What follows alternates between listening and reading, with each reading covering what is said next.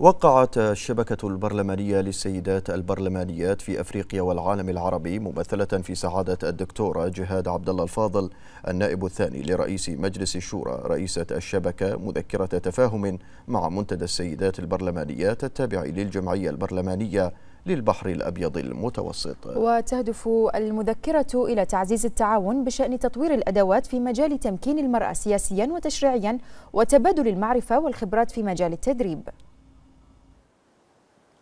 هذه المشاركة البرلمانية تكتسب أهمية لأكثر من سبب. آه، ربما من أبرزها أن الموضوعات الاقتصادية البرلمانية هي القاسم المشترك اليوم في آه، نشاط البرلمانات. وهذه الفعالية تسلط الضوء على كيفية معالجة البرلمانات للتحديات وتداعياتها الاقتصادية. آه، أعتقد أن لدينا في مملكة البحرين قصص نجاح عديدة بشأن التغلب على العديد من التحديات من خلال التدابير التشريعية والتعاون آه، بين السلطتين آه، خاصة فيما يتعلق بما يؤثر على الأمن الغذائي أو آه، تحقيق أهداف التنمية المستدامة أو ما يرتبط بقطاع التحول للطاقة الخضراء.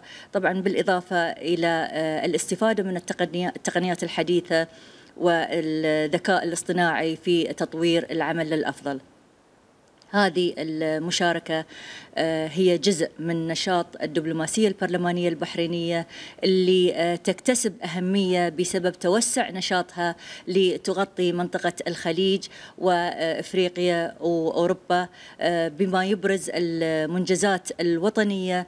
لتكون نموذج ودليل على طاولة النقاش في المحافل الإقليمية والدولية.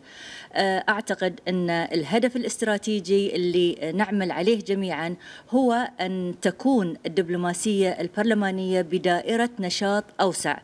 إن كان على المستوى القاري أو العالمي وليكون آه، نشاطنا البرلماني في المحافل الخارجية رديف للجهود الدبلوماسية الوطنية واللي تصب نحو الخير للأوطان.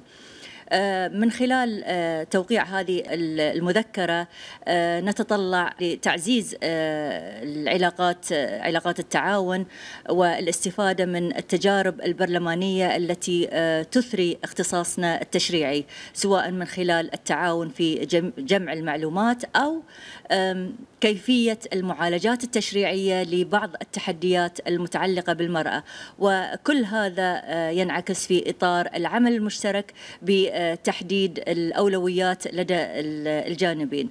طبعا آه، هذه الاتفاقية آه، هي باكورة آه، اتفاقيات مقبلة سيجري توقيعها مع برلمانات أخرى في الفترة القادمة.